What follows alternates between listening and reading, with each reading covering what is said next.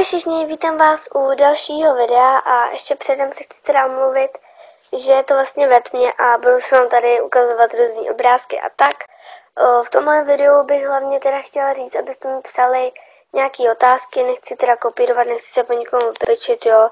Ale přišlo mi to docela skvělý nápad, že bych vám mohla říct, ať mi píšete otázky a pak bych natočila video, jak na ně prostě zodpovídám. Můžete mi psát teda jako pod jakýkoliv video, ale nejlépe teda pod tohle to video, protože o, se mi to prostě bude líp na to koukat a prostě líp to číst a takhle, abych to tady pak zase nemusela o, celý den tady hledat.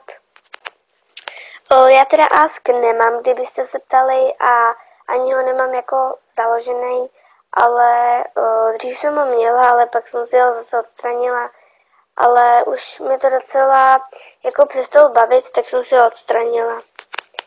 A určitě se koukněte do popisku videa, protože tam vlastně jsou mý kamarádky, kámoši, prostě, kteří taky natáčí, odebírají mě teda pokud vím. Já je taky odebírám, mají teda super videa, už mají hodně odběratelů a jsou teda všichni v popisku. Já to tam ještě neumím dát, takže se na to rovnou kliknete. Máte to tam prostě jenom napsaný ty kanály, jo. Tak se určitě do toho popisku koukněte a určitě mi ještě pište ty otázky. Když bude třeba pět otázek, tak to jakože zodpovím ale když budou třeba 4-3, tak já si myslím, že už to moc nemá cenu. Napište mi klidně jeden člověk víc otázek, jo, prosím. Jo, takže fakt, kdybyste byli hodný, tak mi určitě pište, já budu ráda.